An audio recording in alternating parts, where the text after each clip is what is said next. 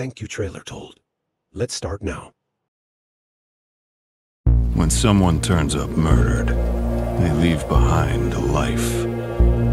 An empty space full of their deepest secrets. Their letters, their address book, the tapestry of friends, lovers, cheats, liars, suspects.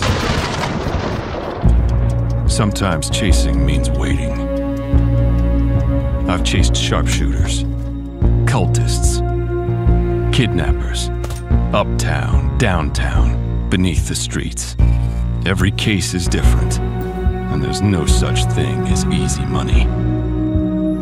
I follow the dead to catch the living, and every step I take leads me deeper into the shadows.